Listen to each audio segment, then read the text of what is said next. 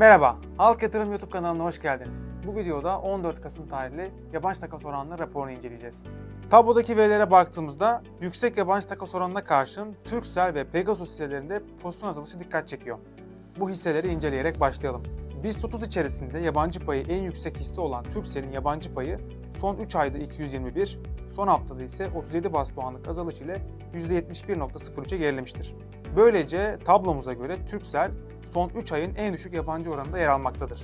Pegasus'a geldiğimizde ise son 3 ayda 400 bas puana yakın ve son bir haftada 41 bas puan azalış görüldü. Yabancı oranı %23.76'ya düşerken son 3 ayın en düşüğünde bulunuyor. En yüksek yabancı takas oranına sahip olan ilk 5 hisseye bakalım.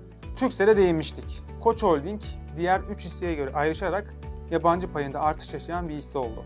Son haftada Akbank'ta 56 bas puan, BİM'de 12 bas puan, Sabancı Holding'de ise 20 bas puan azalış meydana geldi.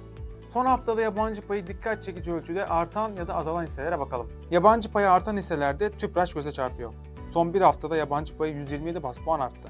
Son bir ayda yaşanan artış ise 419 bas puan oldu. Böylece Tüpraş'ın yabancı payı %36.72 seviyesine geldi. Azalışta ise göze çarpan 3 senet bulunuyor. Bunlar Emlak Konut, Kardemir Denizli ve gübre fabrikaları. Son bir haftada yabancı payında Emlak Konut'ta 138, Kardemir Denizli'de 104, gübre fabrikalarında ise 127 bas puan azalış yaşandı. Son yabancı oranı ise Emlak Konut'un %15.62, Kardemir Denizli'nin %13.98, gübre fabrikalarının ise %7.59 oldu. BIST 100 şirketlerindeki yabancı takas değişimlerinde Akfen Yenilenebilir Enerji son 6 aylık dönemde yabancı takas oranındaki artış ile Türk Traktör ve European Endüstri ise son 1 aylık dönemde yabancı takasındaki azalış ile dikkat çekmektedir. Haftalık yabancı takas değişimleri tablomuzda Akfen Yenilenebilir Enerji'de 190, Tüpraş'ta 127, Petkim'de 119 bas puan artış. Türk Traktör'de 267, European Endüstri'de 172 ve Emlak Konut'ta da 138 bas puan azalış meydana geldi. Son olarak BIST 30'da yabancı takas oranı grafiğine bakalım. BIST 30'da yabancı oranı 14 Kasım 2023 tarihinde %32.33 olmuştur.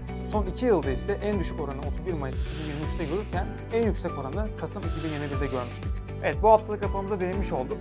Kanalımıza abone olmayı, yorum yapmayı ve videomuzu beğenmeyi unutmayın. Haftaya görüşmek üzere, iyi günler dileriz.